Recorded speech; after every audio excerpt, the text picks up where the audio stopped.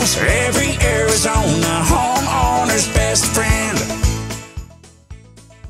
Let's talk about how often should someone even be thinking about getting their chimney cleaned.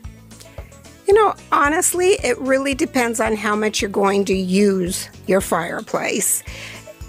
Usage is the reason why you would want to have it cleaned.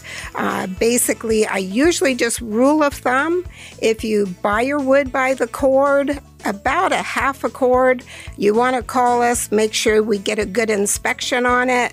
Uh, sometimes you might need it sooner, uh, but it's always a good rule of thumb just to keep that creosote down.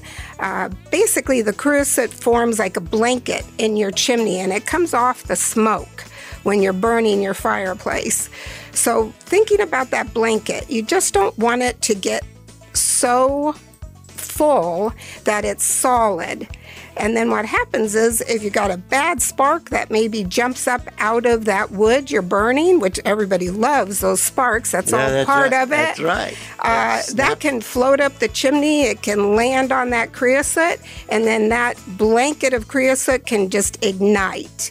Um, best scenario is that it puts itself out. Worst scenario is it gets so hot that it explodes into the attic, which then can catch the rest of your house on fire. Rosie, Rosie on the house. Every Arizona friend.